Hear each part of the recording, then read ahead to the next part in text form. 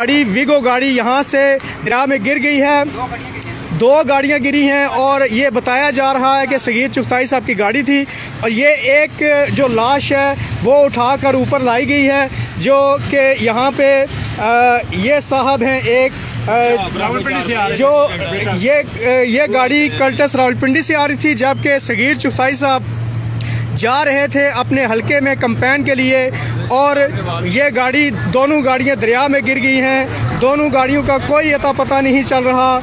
यहाँ पे काफ़ी लोगों ने तलाश करने की कोशिश की, लेकिन दोनों गाड़ियाँ जो हैं, वो दरिया में कहाँ चली गई?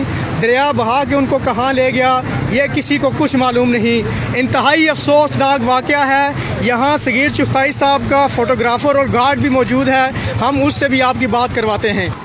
जी, आप बताएँगे कि गाड़ी में कौन सवार था और आप कौन हैं?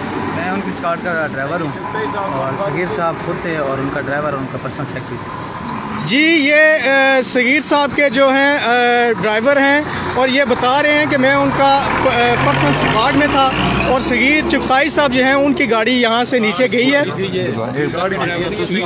ये सगीर साहब के साथ जो स्काट चलता है ये उसकी गाड़ी है जबकि सगीर साहब जो हैं सगीर चुगताई साहब ये उनके स्काट की गाड़ी है और सगीर चुगताई साहब जो हैं वो यहाँ इससे अगली गाड़ी थी जो दरिया में गिर गई है।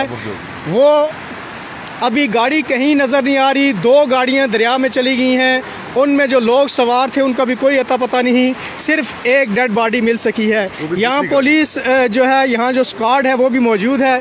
वो बता रहे हैं कि सगीर चुफ्ताई साहब हमसे आगे थे और वो गाड़ी दरिया में गिर गई है। इंतहाई अफसोसनाक खबर है ये।